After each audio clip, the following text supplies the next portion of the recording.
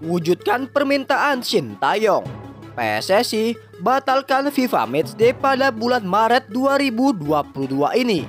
Sebelum lanjut menonton video ini, saya ingatkan buat kalian selalu dukung channel ini dengan cara like video ini, subscribe channel ini, dan jangan lupa juga nyalakan lonceng notifikasinya agar kalian tidak ketinggalan update video terbaru seputar berita timnas.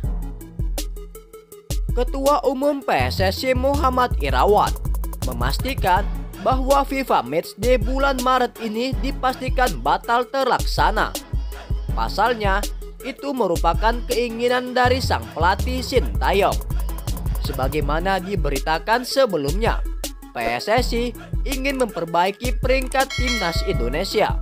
Oleh karena itu, rencananya FIFA Matchday bulan Maret dijadwalkan dari 21 hingga 29 Maret mendatang. Namun, laga tersebut tidak bakal terlaksana. Pasalnya, Shin Taeyong meminta pertandingan uji coba tersebut untuk dibatalkan karena dianggap tidak efektif. Menurut Shin Taeyong, laga FIFA Matchday bulan Maret tidak efektif dan efisien. Hal ini karena dia juga memimpin timnas U20 persiapan Piala Dunia U20 2023 yang menjalani pemusatan latihan di Korea Selatan kata Irawan.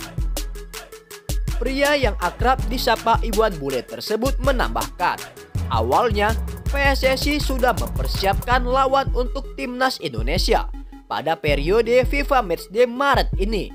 Untuk itu, PSSI memahami permintaan Shin Taeyong dan mendukung semua program dari dia demi prestasi timnas Indonesia kata Iwan Bule, sapaan akrab Irawan.